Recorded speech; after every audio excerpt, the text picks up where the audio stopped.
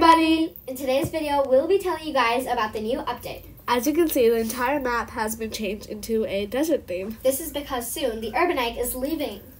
And it, oh my god, I just got flinged. And it will be replaced by the new desert egg. As all the gumball machine eggs, it will cost 750 bucks. We aren't sure about all the pets coming out, but we will tell you guys when we find out. So as you can see, the update is completely Egypt themed. And we're going to be showing you guys how it works.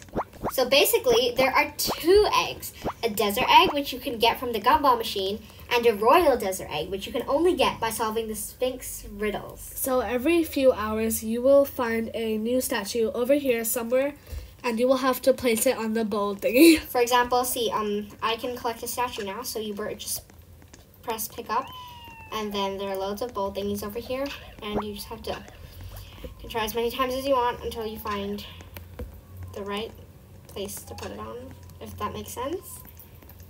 Um, so you can do this up to two times a day, every single day. And after you complete all 12, this square thingy, wait, let me get show you guys. One sec.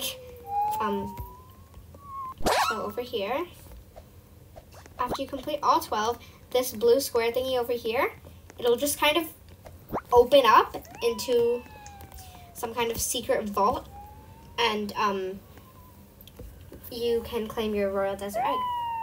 Sorry that we don't know the right words for things, by the way, guys. Anyway, you guys, we hope you enjoyed this video. Make sure to like and subscribe. And join our New Year's giveaway.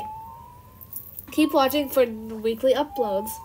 All you have to do to join our giveaway is like, subscribe, join our group Icey underscore Amy, and comment on our group your username, as well as New Year's giveaway. And stay tuned for more videos, news, and giveaways. Bye, everybody. Bye, everybody.